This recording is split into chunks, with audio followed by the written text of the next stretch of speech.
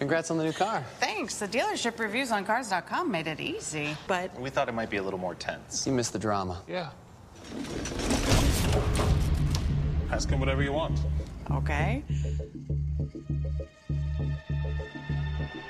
I think my sister's prettier than me.